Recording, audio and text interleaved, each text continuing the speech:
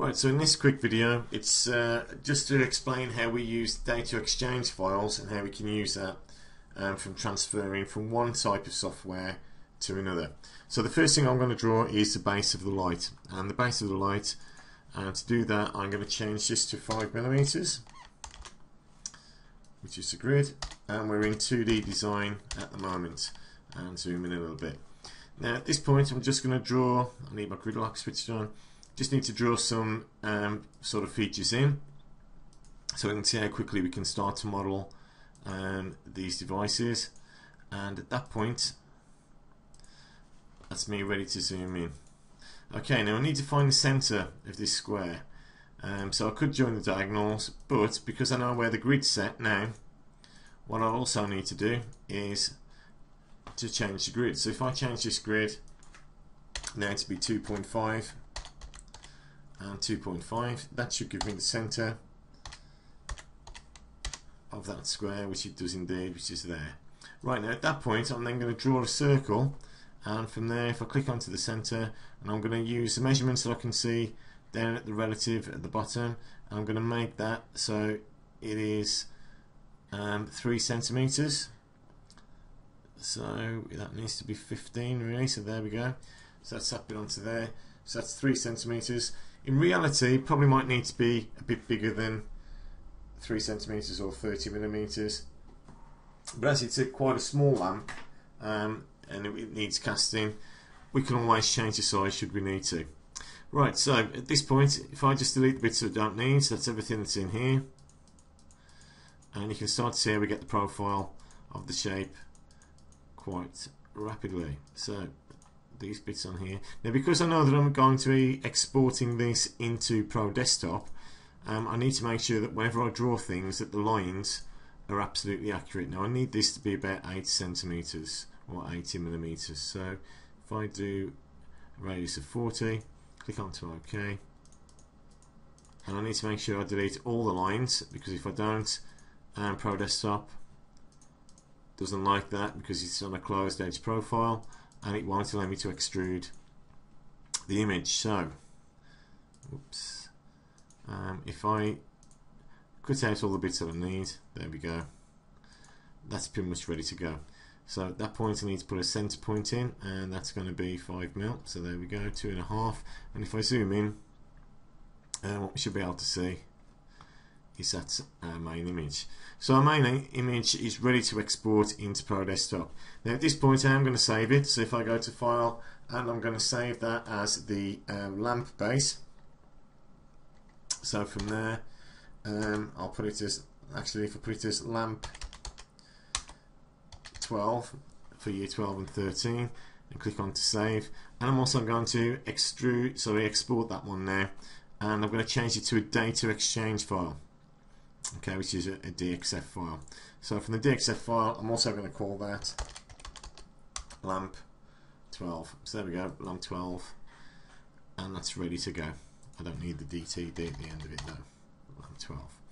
Okay, so at that point, I'll keep the alt command because I want all the, the details in there to be correct. I'm then going to open up Pro Desktop and go to File, New, click onto Design, open up the area and make sure it's on initial which it is. Go to file click onto import click onto DXF file. From there and we can browse it but I think we know where that bit's going to be. So we're going to call it lamp 12 DXF open that one up click onto next. Yes that's what it looks like. Finish and then if we activate the sketch we can see that we've got that bit down there so if we just zoom in a little bit and then go to feature extrude and from that extrusion needs to be 3 centimeters tall or 30 millimeters so I need to click onto OK and then we've got our image exactly there.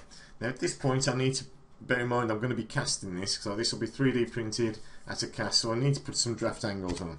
So the draft angles I'm going to put on the edges so I'm just going to click onto all the edges and I do that by holding the shift key while I'm selecting and I'm just going to go to feature round edges click onto round edges and we'll make those 10 so click onto 10 click onto OK. Now that there is ready to be 3D printed. It has got to have other holes in, but obviously because I'm thinking of how it's got to be cast, um, I'm not going to put those holes in. So at this point, I'm going to go to File and save that one, and I'm going to save this one as lamp 12.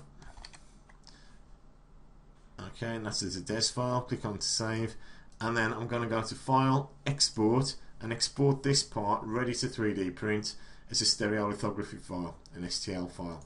So click on to Browse, and that's also going to be lamp 12 and click on to save click on to OK now why it's here because I'm doing the assembly drawing at the same time.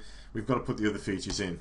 So I'm just going to select the face on there click onto work plane create new work plane plane of objects. It's called work plane 1 I could probably do be renaming that one to be fair and just so we know. So I'm going to call this holes and click onto OK so we've just changed that one. And I'm going to zoom into that one in a second. So new sketch, click onto OK. So now we should be zooming in and I'm going to start to draw the lines in. Now I know that's going to be the center straight away. So at that point I draw a line and make these construction lines. And I'm going to use these construction lines to help me put together the centers for the hole. Sorry, I was just concentrating on what I was doing then. Control G. There we go. And I need to just draw the line going down here as well, straight the way down, Control G. And Control G just makes some construction lines. Now just to um, set this up, I'm not sure why it's moved there. From the edge, I'm going to measure that bit, and it's 13.3. So let's see what this one is from there. 13.3. So I would imagine these would be the same. Right, so if I move that one to 13.3, and I need to write these down. Just so I do the other drawings 13.3 I know what the measurements are going to be so 13.3 click on to OK. And of course I could always produce the engineering drawings will have that information written on. And that should be 13.3 ah so we've got a bit of an issue there. So 12 okay so it may be just how this has been rotated so what I will do in this case um, is just delete that bit. Let's try and do it the other way around.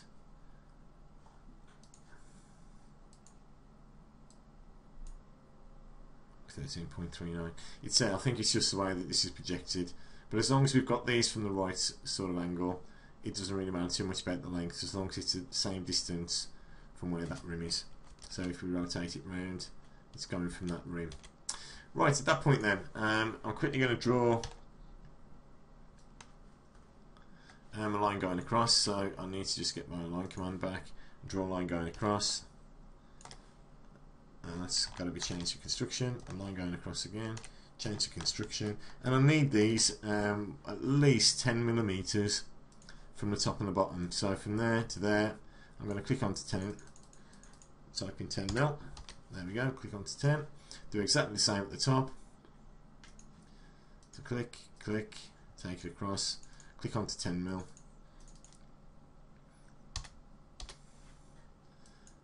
Okay, and that gives us the focal points or the center points for when I'm going to draw the hole. So I'm going to put a 6 mil hole through.